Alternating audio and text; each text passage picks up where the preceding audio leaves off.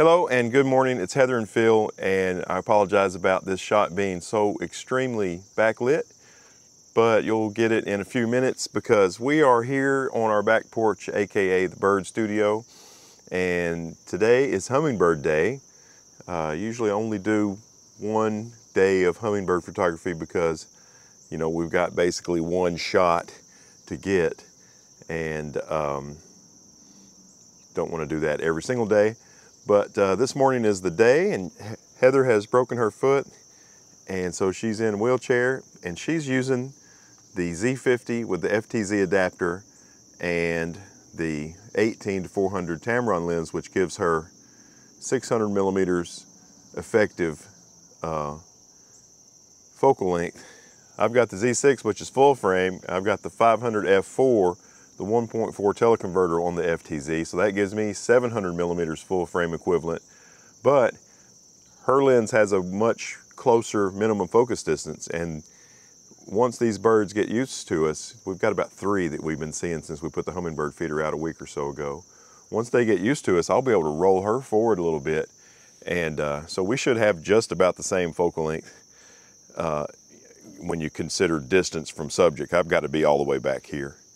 But uh, anyway, we're going to get going and uh, we'll show you the results soon. So there's Heather sitting over there, extremely backlit. But if you look over here,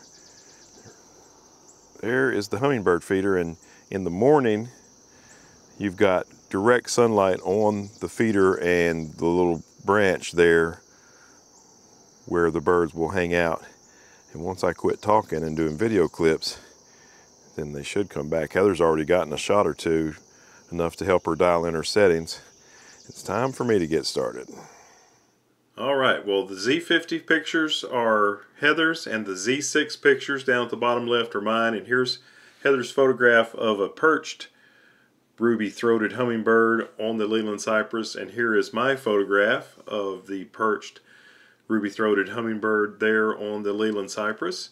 We made uh, a number of photos over the course of a couple of hours, and here's another one of mine. Uh, early in the day, I had to crop them pretty tight because they were staying pretty close to the bird feeder, but I had a solution to that a little bit later.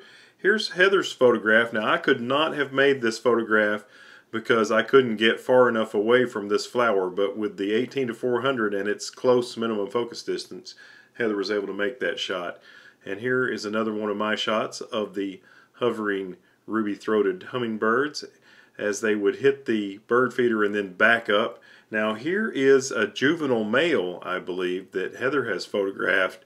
And I didn't get any photographs of males, but Heather did manage to land some male photographs. And here's another one of my photos. I really love these beautiful birds. And this is at 1 1600th of a second and their wings are still covered in motion blur. Um, the sun, as it came up, kind of got behind some trees and we had some shade for just a little while. And here's an example of how I fixed the bird feeder. You can see it and then I'll talk about what I actually did to make the birds go where I want them to.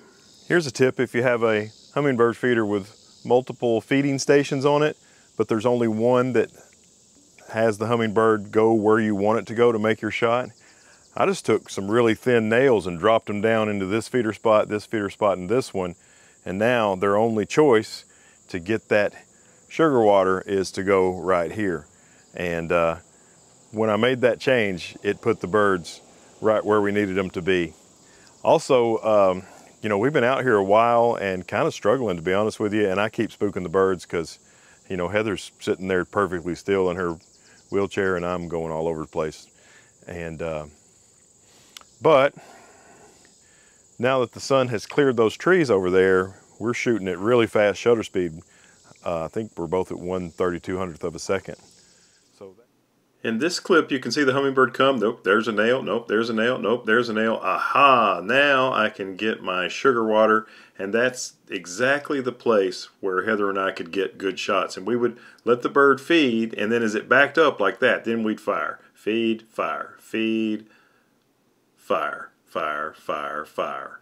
And so that's how we made these photographs. You uh, you get a, a hummingbird in flight photo, you know, usually within 6 to 12 inches of a bird feeder is how it works out for us anyway. And now these next photos will be at 1 3200th of a second because the sun had cleared the trees and I had put those nails in there and now you can see I can make these photographs wider because the uh, the other holes in the bird feeder are blocked and the birds are always going right where I need them to go and when they backed up I had more space at the side of the feeder. Here is uh, Heather's photograph, another perched photo. Very beautiful. I love the background in this.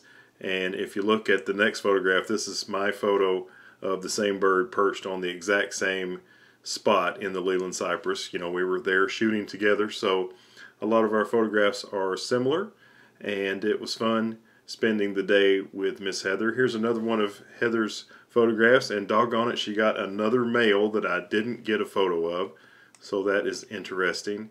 And let's see whose this is. This is another one of Heather's, and it's another male.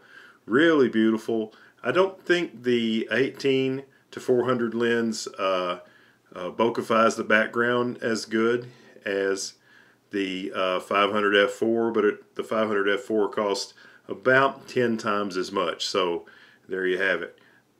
And now here is some more video that I made with the X-T3 and the 55 to 200 lens. Over here, there you go. No, those aren't working. Come over here.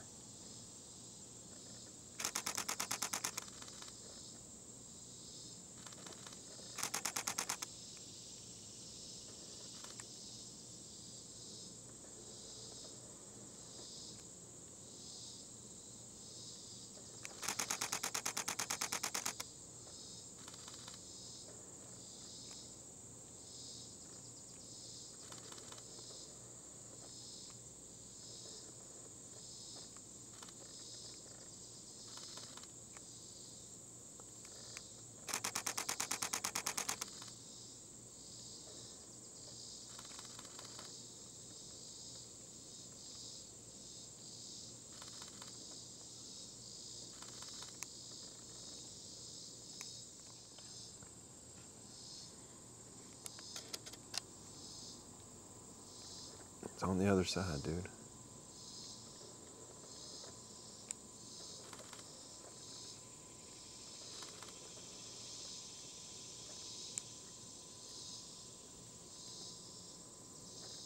We hope you enjoyed those photographs and maybe there was a little bit of video in there. We've been out here for a couple hours and it's getting super, super hot here on August the 16th. August the 16th of 2020 in southeast Tennessee.